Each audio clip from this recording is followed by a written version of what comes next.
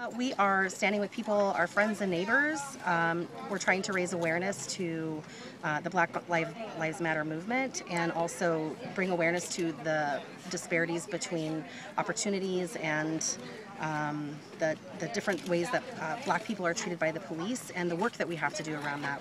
This is going to be a peaceful, silent um, vigil of us just holding signs on the street where people can drive by and see these names and hopefully think about those people and the lives that they lost in, in a system that's, that needs some work.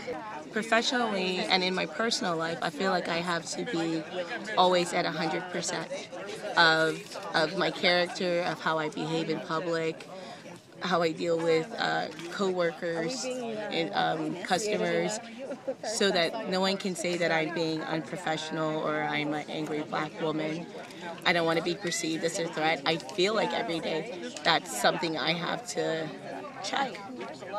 I don't think people are aware that I feel like that. I don't think the people I interact with make me like try to make me feel that way.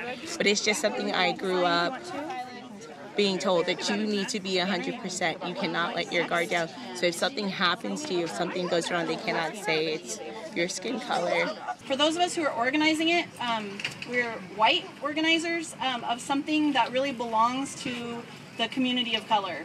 And we're doing that as a way of showing solidarity, but it's not supposed to be um, it's not supposed to be like our one and done. So we're encouraging you to think about what you're going to do next. Like, what's the next step for you?